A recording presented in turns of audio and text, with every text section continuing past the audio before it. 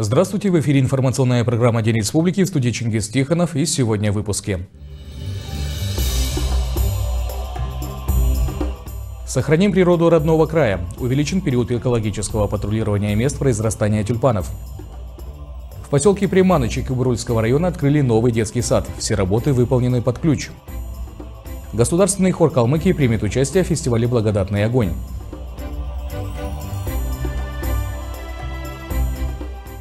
В разгаре подготовка к фестивалю тюльпанов. Активное участие в нем примет Министерство природных ресурсов и охраны окружающей среды. Как известно, глава Калмыкии Бату Хасиков обратил особое внимание на необходимость тщательной проработки экологической повестки мероприятия, чтобы фестиваль мог стать действенным инструментом сохранения тюльпанов и экологии нашей степи. В этой связи Минприроды увеличила период экологического патрулирования, который начнется уже в конце этой недели и будет осуществляться непрерывно до начала мая. К участию в патрулировании также будут привлечены общественники и волонтеры. Кроме того, в планах провести разъяснительную работу и контроль за соблюдением природоохранного законодательства будет усилен.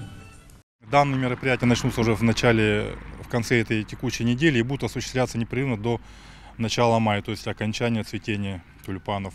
Ведь из-за незнания или нежелания соблюдать запреты на сбор редких и краснокнижных видов местные жители и туристы срывают первоцветы, нанося тем самым непоправимый вред популяциям.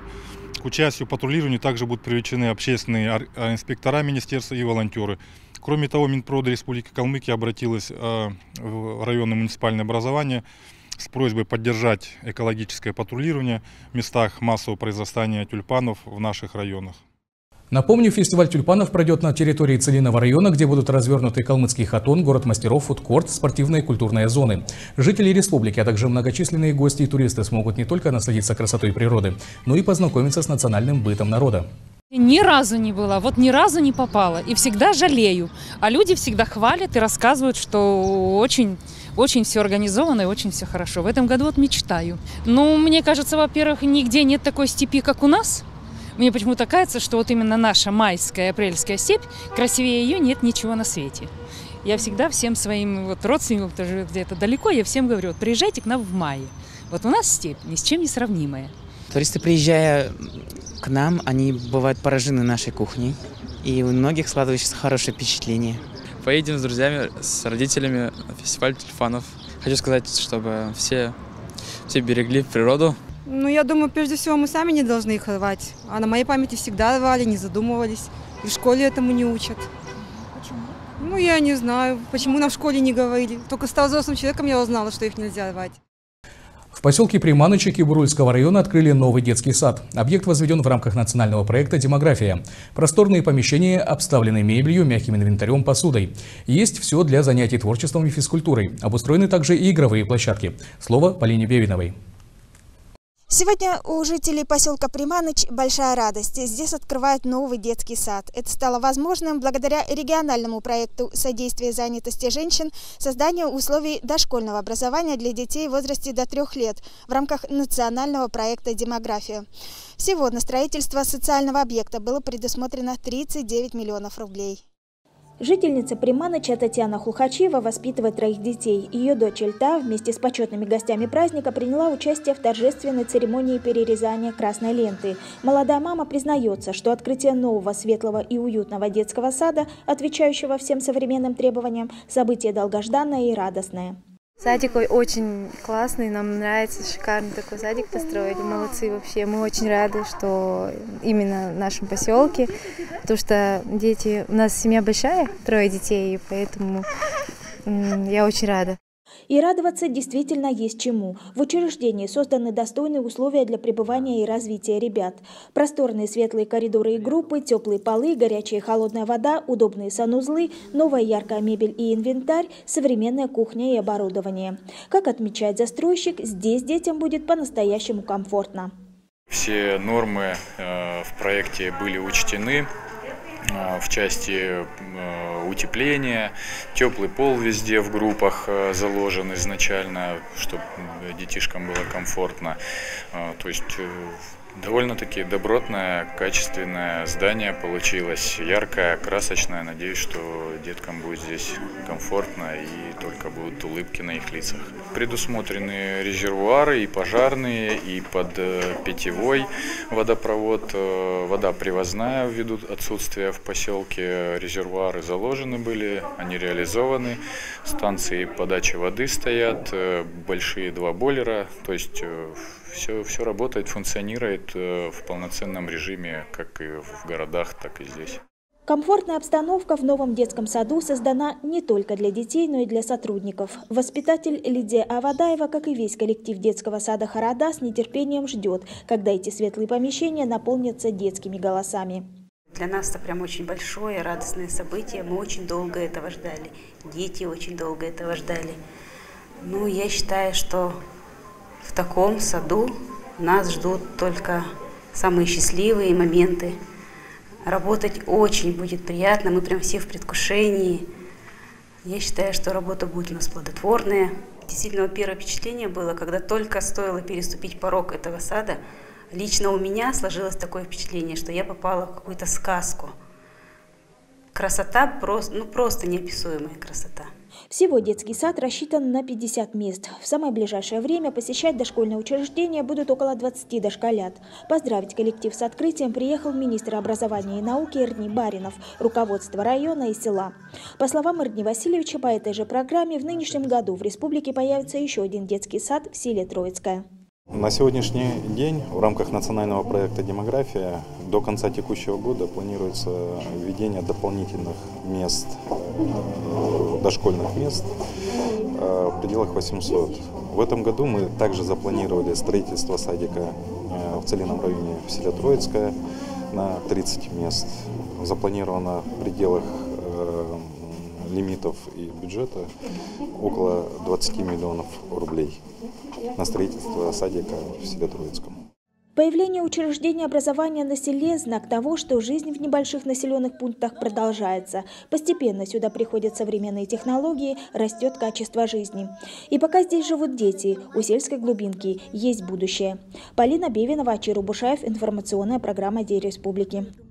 В Калмыкии, согласно последним данным Минздрава, зарегистрировано 15 новых случаев заболевания коронавирусом. В тяжелом состоянии находится 11 пациентов, из них трое на ИВЛ. Один скончался, выздоровел 31 человек. 206 на лечении в инфекционных больницах. В режиме домашней изоляции 571 житель республики. Сотрудники МЧС Калмыкии приняли участие во всероссийских учениях по ликвидации последствий чрезвычайных ситуаций. Сегодня, в третий день крупных командно-штабных тренировок, ликвидировали природные пожары на территории лесного фонда. По легенде, в региональную диспетчерскую службу Колымлеса поступило сообщение о том, что на территории Лестинского участкового лесничества обнаружено возгорание сухой растительности на площади примерно 300 квадратных метров. Обстановка на месте пожара усложнилась усилением ветра в западном направлении. Это стало причиной распространения площади огня до 5 гектаров. До прибытия первых пожарно-спасательных подразделений локализовать огонь сотрудники Колымлеса пытались самостоятельно, однако собственных сил им не хватило. К тому же в ходе тушения лесного пожара одному из работников понадобилась помощь спасателей. На носилках пострадавшего доставили в карету скорой помощи для оказания дальнейших реабилитационных мероприятий. Свою посильную помощь в борьбе с огнем оказали казаки-добровольцы. Благодаря оперативным совместным действиям пожар удалось ликвидировать. Ну, совместные учения нужно проводить не только ежегодно, но почаще, я думаю. Отработали сегодня взаимодействие с пожарными, со всеми службами. Я думаю, учения прошли на 5. Задействовано было два трактора с плугами, водораздатчик, малолесные комплексы, два штучки. Ну, справились быстро с поставленной задачей. С наступлением пожароопасного сезона пожары, конечно, в республике э, бывают э, довольно-таки серьезные, выгорают большие площади степи и приводит э, к нарушению экологии.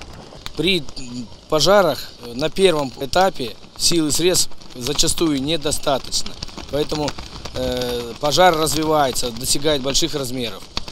Э, а в последующем уже как бы привлекаем силы и средства дополнительные, в том числе от МЧС России, и проводим тушение пожара. Государственный хор Калмыкии имени Цыбекова примет участие в ежегодном фестивале «Благодатный огонь», посвященном празднику Пасха. Традиционно он проходит в Кисловодске. Наш коллектив примет участие в открытии фестиваля 1 мая. Наряду с нашими хористами выступит филармонический хор имени Сафонова, заслуженный артист России Андрей Диев, дирижер Дмитрий Златинис и другие. По словам художественного руководителя и дирижера филармонического хора Алины Мухамеджановой, в Элисту она приехала, чтобы отработать программу с калмыцкими артистами. На фестивале вокалисты исполнят кантату Сергея Танеева и Уанда Маскин. Ее еще называют русским реквиемом. Мухамеджанова отметила, что выступление можно будет посмотреть как в зале, так и онлайн. Часто люди просто не могут попасть физически на концерт, а сейчас мы все можем услышать любую трансляцию с любой точки мира, собственно. И это, это, конечно, знаменательное событие не только для э, региона Кавказских минеральных вод, не только для самого Кавказа, но и для близлежащих республик. В свою очередь, худрук хора имени Цыбекова Ольга Сердюкова отметила, что солисты хора имени Сафонова примут участие в музыкальном подношении тысячи музыкантов в Центральном хоруле Калмыкии. Ориентировочное мероприятие пройдет 26 мая. Более того, когда снимут все ограничения и откроют залы, коллектив из Кисловодска проведет концерт в Элисте. Случилась встреча с Шаджинламой. И впереди э, у нас 26 примерно рабочая дата поставлена на тысячу музыкантов, которые ежегодно проводятся. В прошлом году не провели, и это ощущается как будто бы какая-то потеря. Вот. И очень решительно все настроены. Стартовал республиканский этап Всероссийского фестиваля «Российская студенческая весна». Мероприятие проходит в два тура. Сегодня начался отборочный этап по шести направлениям. Завершится студенческая весна гала-концертом 24 апреля в рамках празднования фестиваля тюльпанов. Победители и призеры представят Калмыкию на всероссийском уровне. Далее подробности. Веселей же, гляди, народ! Погасите все свечи и фонари. Я сама на столбе фонарем зажгусь. Разгорайся, костер колдовской гори! Ну давай! Я же ведьма! Я не боюсь. Что молчите? И друг, и брат, затерявшись средь воронья. Или верите, как твердят, что колдунья и вправду я? Студентка четвертого курса Калмыцкого медицинского колледжа Айта Иванова увлекается литературой. Сейчас девушка завершает обучение и планирует поступать в Казанский государственный медицинский университет. Однако участие в отборочном этапе никак не вредит учебе, а даже наоборот, идет на пользу. Главное правильно распределить свое время, найти свободное, и как бы это помогает мне отвлечься от учебы, отдохнуть и разгрузить мозг свой. В театральном направлении участвует всего пять человек. Член жюри, заслуженный деятель искусств Калмыкии Владимир Маркин отмечает, что главное не количество, а качество выступлений и актерские способности. Не смущает ничто, ни количество участников, не это главное, чтобы ребята как бы достойно смогли представить нашу республику в Нижнем Новгороде вот, на э, финале этого конкурса. Я буду очень рад, если появятся такие таланты. Отборочный тур проходит в двух категориях – профильные и непрофильные. К первой группе относятся студенты Листинского колледжа искусств имени Ченкушова. Другая же категория – это студенты СУЗов и вузов Калмыкии, которые не обучаются по творческим направлениям. Всего же республиканский этап в этом году собрал небывалое количество участников – более 300 студентов. Все они рассредоточены на разных площадках. Организаторы отметили, что конкурс проходит при строгом соблюдении требований Роспотребнадзора. Мы наблюдаем э, большой прирост студентов, все очень активно хотят принять участие, все, наверное, устали, по таким, э, устали от пандемии, э, хотят принять участие в таких очных мероприятиях. Сейчас мы насчитываем около 300 вот, по разным направлениям. Ну, мы еще считаем в счет коллективы. Отборочный тур продолжится завтра. В риа Калмыкия свои работы студенты представят в направлении журналистика. В колледже искусств жюри будет оценивать хореографические постановки. Второй этап конкурса «Гала-концерт» состоится 24 апреля в рамках фестиваля тюльпанов. Ну а всероссийский финал «Суд весны» пройдет в Нижнем Новгороде с 15 по 20 мая. Чингис Тихонов, Владимир Цуглинов. Информационная программа День Республики. Выпуски новостей, а также другие передачи нашего телеканала смотрите в цифровом вещании канала УТР на 21 кнопке в IPTV зеленой точки Ростелекома и на официальном аккаунте в Instagram reakalum.ru. На этом у меня все. Всего доброго и до встречи в эфире.